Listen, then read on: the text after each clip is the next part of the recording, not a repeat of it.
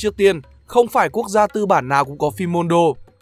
Thậm chí những nước như Anh, Hà Lan, Canada, Úc đều hạn chế hoặc cấm tiệt loại phim này. Nhưng một điều chắc chắn, phim Mondo chỉ xuất hiện tại các nước tư bản Ý, Đức, Pháp, Tây Ban Nha, Hoa Kỳ và sau này xâm nhập châu Á qua Nhật Bản. Kỳ lạ thay, cả ba nước cựu phát xít Đức, Ý, Nhật đều là những nước sản xuất hàng đầu về thể loại phim Mondo. Điều đã khiến rất nhiều người đã cố giải thích nó dưới góc độ của chủ nghĩa dân túy và phân biệt chủng tộc. Vậy phim Mondo là gì? Về cơ bản người ta nói rằng nó là một thể loại phim tài liệu, nhưng với những cảnh quay gây sốc người xem. Vì vậy trong tiếng Anh, người ta dùng nó với danh từ ghép shockumentary, tức là bằng shock cộng documentary. Tuy vậy, đa phần người ta thích gọi nó bằng thuật ngữ tiếng Ý là Mondo film như một cách để tưởng nhớ quốc gia sản sinh ra thể loại phim quái dị này. Vào những năm 60, dù nền điện ảnh được coi như là phát triển hàng đầu ở châu Âu và thế giới, một số nhà làm phim Ý mà nói đặc biệt ở đây là ba đạo diễn huyền thoại Paolo Cavara, Guattiro Jacopetti và Franco Prosperi vẫn thấy tìm kiếm lợi nhuận qua các bộ phim bình thường khá khó khăn và cần một nội dung mới mẻ nào đó để thu hút ngay lập tức người xem. Và họ đã quyết định chọn những nội dung được coi như là cấm kỵ trên màn ảnh dù nó diễn ra thường ngày như là cái chết, tình dục, bạo lực, nghèo đói và từ đó Mondo Film được ra đời. Trong hơn hai thập kỷ những năm 60 đến 80, các nhà làm phim Mondo đã đi khắp các ngóc ngách thế giới, quay lại những cảnh phim kỳ lạ với khán giả châu Âu. Những nghi thức kỳ dị của các thổ dân châu Úc, những hình thức tình dục kỳ quái ở châu Á, những cảnh săn bắn động vật đẫm máu ở châu Phi, bạo lực đường phố ở Nam Mỹ, nghèo đói cùng cực ở Ấn Độ hay chỉ đơn giản là những cái chết do tai nạn, tự sát trên đường phố Âu Mỹ hàng ngày. May mắn sao, vào những lúc bộ phim đầu tiên được ra đời, nó được đón nhận nồng nhiệt và thành công lớn về tài chính. Năm 1962, bộ phim Monoken, tạm dịch là Thế giới của chó, được ba đạo diễn Paolo Cavara, Guattiero Jacopetti và Franco Prosperi thực hiện với một nội dung tổng hợp và không liên quan khắp trên thế giới đã gây tiếng vang lớn với khán giả châu Âu và mang lại thành công không tưởng về tài chính. Ở thời kỳ mà thế giới chưa được kết nối rộng như ngày nay, những thước phim mà các đạo diễn mang đến đã làm thay đổi suy nghĩ của khán giả châu Âu về các vùng xa xôi như là ở châu Á, châu Đại Dương. Tuy nhiên, nó lại là những thước phim về hủ tục rùng rợn của thổ dân châu Úc và những cảnh tàn bạo với động vật ở châu Á, ăn thịt chó ở Đài Loan, thịt rắn ở Singapore, chặt đầu trâu ở Nepal. Thành công và lợi nhuận của Mondoken vào năm 1962 đã tạo ra cơn sốt khiến các nhà làm phim đua nhau sản xuất thể loại phim này.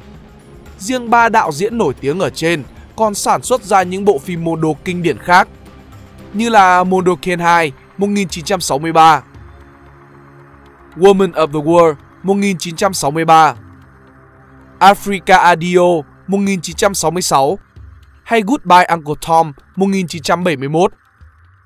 Học tập theo, hai anh em đạo diễn người Ý khác là Angelo và Alfredo Castiglioni đã dành hàng chục năm sau đó rong ruổi khắp lục địa châu Phi cho ra đời năm bộ phim Mondo về các phong tục của thổ dân châu Phi, được đánh giá là thuộc những bộ phim có giá trị cao. Rồi đến hai đạo diễn Ý nữa là Anthony Climati và Mario Mora làm ra bộ phim Savannah Violenta, tạm dịch Thế giới bạo lực này được coi là bộ phim phản ánh trần trụi những góc tối nhất của thế giới loài người, với những cảnh bạo lực mà loài người làm với nhau trên khắp thế giới. Những đứa trẻ sơ sinh bị chôn sống ở Papua, những kẻ hồi của cướp bóc và bị giết hại trong trận động đất ở Guatemala. Căn bệnh chết vì cười tưởng chừng như chỉ có trong chuyện cười, lại cướp đi sinh mạng của hàng nghìn người dân Mozambique.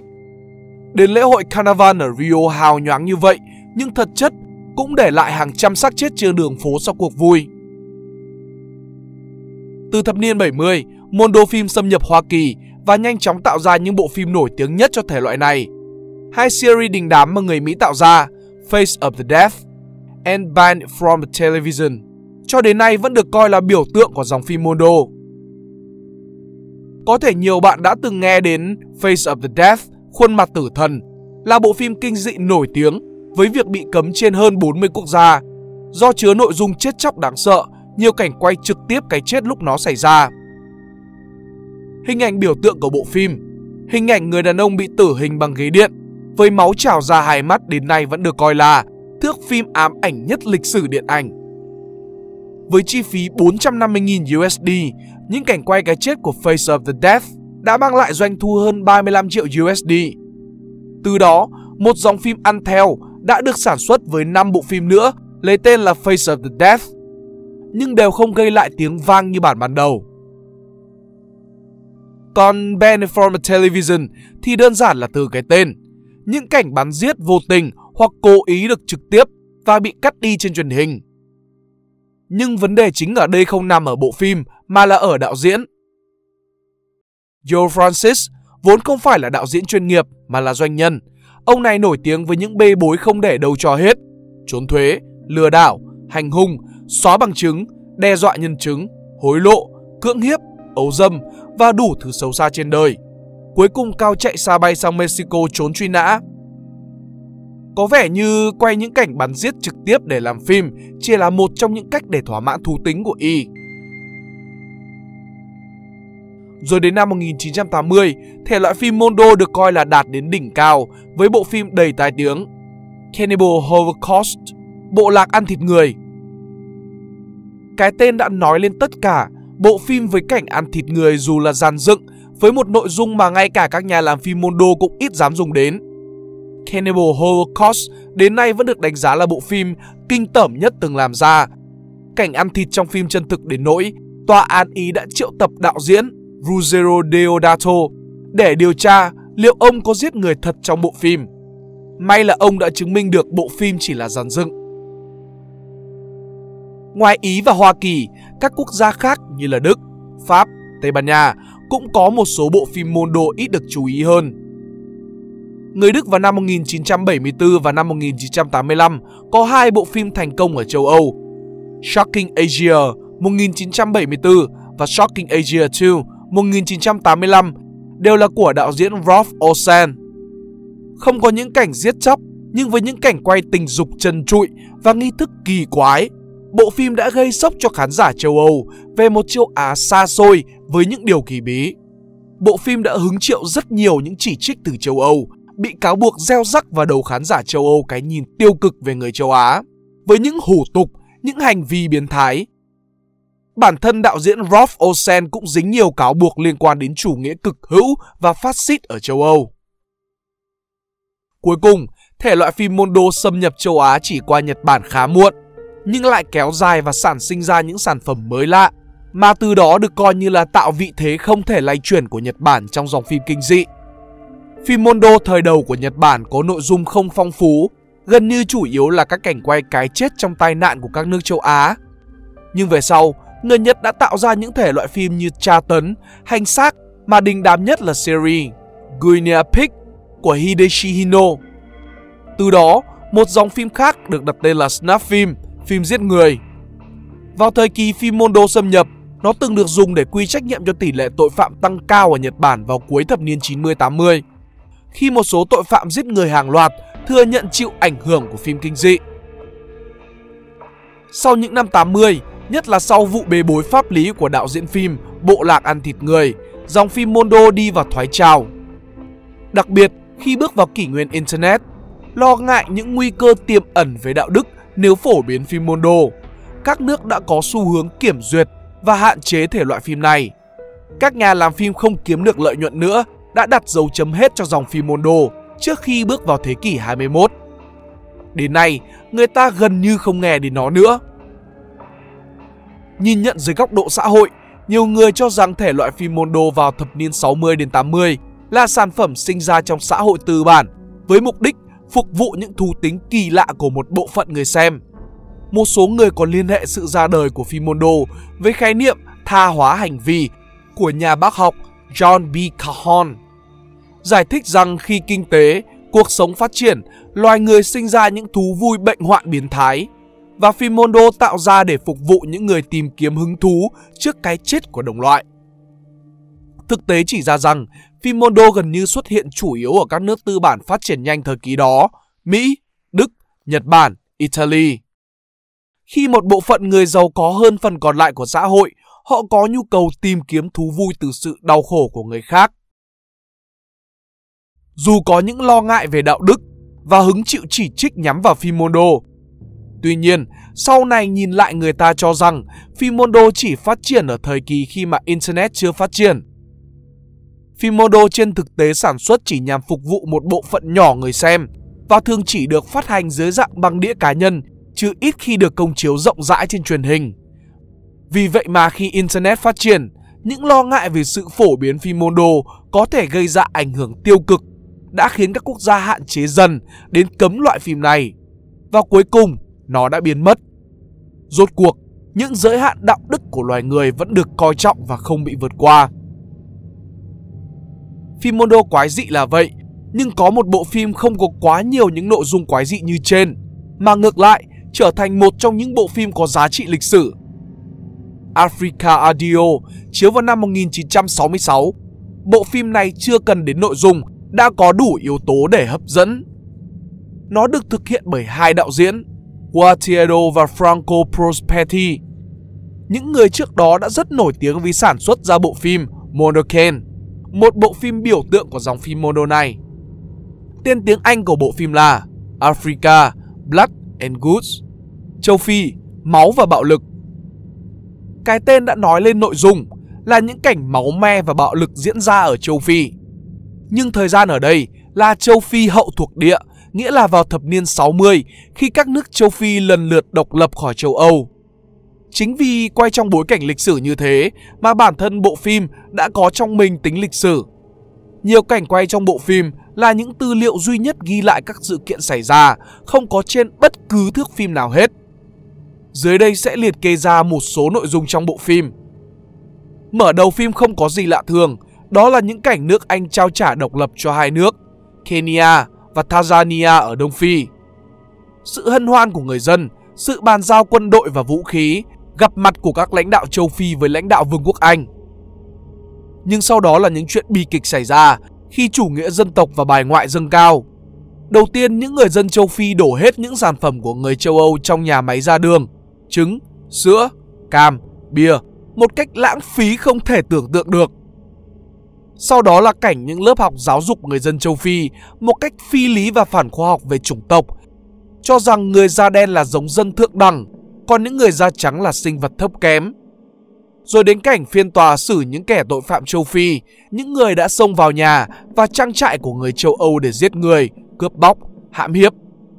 Tiếp đó là cảnh những nông trại của người châu Âu bị bỏ hoang, giao bán vì chủ nhân đã bỏ đi. Người châu Phi tràn vào nông trại, quê mùa trước những sản phẩm hiện đại như váy áo, đồng hồ, lò sưởi, bồn tắm và sau đó phá hủy chúng như không có lợi ích gì.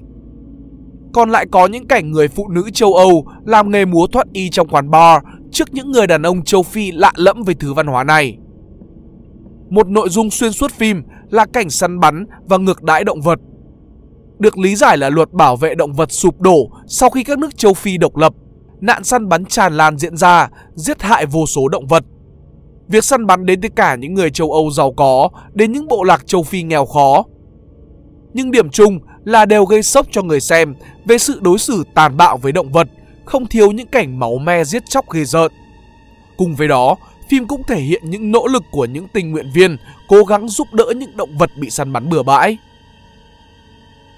Tiếp đến là những nội dung có tính chất lịch sử. Quan trọng nhất trong các nội dung này chính là cảnh quay cuộc cách mạng tại Zanzibar Đầu năm 1964, một quốc đảo nhỏ bé ở Đông Phi, ít người biết tới, nhưng trong lịch sử nổi tiếng là nơi người Arab bắt giữ và buôn bán hàng triệu nô lệ da đen. Vào thời điểm quay phim những năm 1964, đoàn làm phim đã vô tình bay qua Zanzibar và quay lại được những thước phim quý giá về cuộc thảm sát, trả thù đẫm máu của người châu Phi nhằm vào người Arab. Cuộc thảm sát mà sau đó đã quét gần hết số dân số Arab của Zanzibar những hình ảnh gây sốc như xác người Raraf chất đầy xe tải, hố trôn trên bãi biển cho đến nay vẫn là tư liệu video duy nhất ghi lại sự kiện này, không có tư liệu nào khác ghi lại. Còn lại, những thước phim lịch sử khác có thể kể đến là cuộc nổi dậy mau mau ở Kenya, bạo loạn giữa người da đen và Arab ở Tanganyika, nước Tanzania ngày nay, trong đó có cảnh đạo diễn Guatiero bị bắt khi đang quay phim, bạo loạn và diệt chủng ở Rada năm 1959. Lâu nay người ta chỉ nói đến phân biệt chủng tộc ở Rada vào năm 1994 mà quên mất năm 1959 này. Chiến tranh thuộc địa ở Bồ Đào Nha Phần lớn thời lượng sau của phim là nói về cuộc khủng hoảng ở Congo diễn ra từ năm 1960 đến năm 1965, trong giai đoạn cao trào của chiến tranh lạnh. Trong đó phim đã dành một phần quan trọng đi theo chân những người lính đánh thuê châu Âu ở Congo. Những con người đóng vai trò quyết định trong cuộc khủng hoảng này. Những cảnh chiến đấu ở Congo trong phim cũng là những thước phim hiếm hoi vì cuộc khủng hoảng Congo lúc đó dù nóng bỏng nhưng vẫn bị truyền thông quốc tế ngó lơ do diễn ra ở một lục địa còn xa lạ. Phần còn lại của phim kết thúc ở đất nước Nam Phi, cực nam của lục địa và cũng là một quốc gia Tây hóa hiện đại nhất ở châu Phi. Ở đây, phim thể hiện sự hiện đại và giàu có của Nam Phi so với phần còn lại của châu Phi, nơi cả người châu Âu đến các bộ lạc châu Phi đều có những trang phục và dụng cụ hiện đại, những cảnh vui chơi bên bãi biển, trong sàn giao dịch, nhưng cũng không quên ghi lại cuộc sống của công nhân da đen trong hầm mỏ. Cuối cùng, tổng kết lại, Africa Adio tuy là bộ phim thuộc thể loại tài liệu gây sốc, Mondo phim, nhưng lại là một phim Mondo có giá trị lịch sử. Nội dung có thể được diễn tả không chính xác, mang tính thiên vị và phân biệt chủng tộc. Bản thân hai đạo diễn Guatiero và Franco Prosperi cũng đã hứng rất nhiều chỉ trích sau khi bộ phim được phát hành, cáo buộc nội dung phân biệt chủng tộc, hạ thấp người châu Phi. Sau đó để xoa dịu, hai đạo diễn này đã làm một bộ phim mô đồ khác tên là Goodbye Uncle Tom, vĩnh biệt bác Tom. Nội dung nói về chế độ nô lệ da đen ở Hoa Kỳ, dĩ nhiên là với những cảnh phim máu me kinh dị. Nhưng ít nhất, Africa Audio cũng là một trong những tư liệu quý hiếm, rất có giá trị với những sự kiện quan trọng trong lịch sử châu Phi, có thể xem tham khảo và những ai hứng thú với lịch sử châu Phi hậu thuộc địa. Hiện tại, có rất nhiều người đã upload bộ phim này trên YouTube nhưng phần lớn đều được ghi nhận là những bản đã cắt xén và kiểm duyệt bớt so với bản gốc năm 1966 của bộ phim. Nếu các bạn thích video này, hãy like và share để ủng hộ chúng mình. Đừng quên bấm nút subscribe và nút chuông bên cạnh để không bỏ lỡ video nào bọn mình ra trong tương lai. Cảm ơn các bạn đã lắng nghe. Đây là Spy Room, còn mình là Pink Dot. See ya!